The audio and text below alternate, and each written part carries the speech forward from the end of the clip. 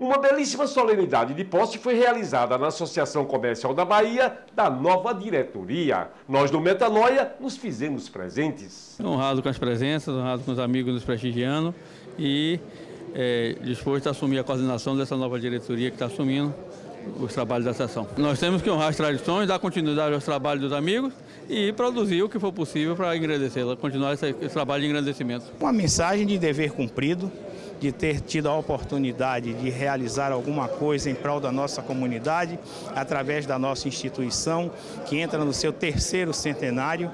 Então é um prazer pessoal muito grande, porque ter sido presidente da Associação Comercial foi uma experiência que jamais eu esquecerei na minha vida. A Associação da Bahia está no momento álgido, cumpre 200 anos, brilhantemente, a mais antiga das Américas e da e da Europa Ibérica e passa de um ótimo presidente Eduardo com excelente trabalho para um companheiro de extremo valor que é o nosso Marco Meirelles. Eu estou aqui com muito prazer para cumprimentar o novo presidente e parabenizar o antigo presidente Eduardo pela sua gestão, com a sua diretoria.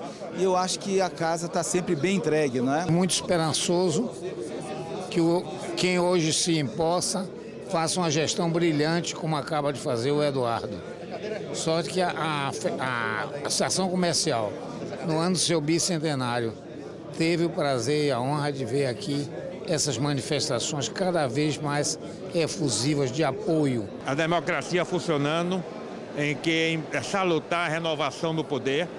E o Eduardo Moraes deixa a presidência com um êxito extraordinário de realizações e um marco que assume tem competência e ampla condições de realizar um trabalho tão profícuo como foi realizado pelo seu antecessor, Eduardo Moraes. Eu acho que é um grande desafio para o amigo Marcos, porque as últimas gestões aqui na Associação Comercial da Bahia foram maravilhosas. Então, ele vai ter um desafio muito grande. Com certeza, vai ter que abdicar muito da família, de tudo. Eu que já vivi com uma Associação dos Produtores de Café da Bahia, Associação dos Agricultores da Bahia, Câmara Portuguesa, eu sei bem o que é isso. É, é uma dedicação à família reclamando, muita coisa, mas eu acho que vale a pena. Essa antiga entidade, essa entidade de 200 anos, é uma entidade que sempre trabalhou pela, pela, pela iniciativa privada e pela é, livre iniciativa. Então nós procuraremos dar continuidade a esse trabalho. A sociedade baiana e o contexto empresarial do nosso estado, além de autoridades constituídas, testemunharam o momento solene da posse da nova diretoria da Associação Comercial da Bahia.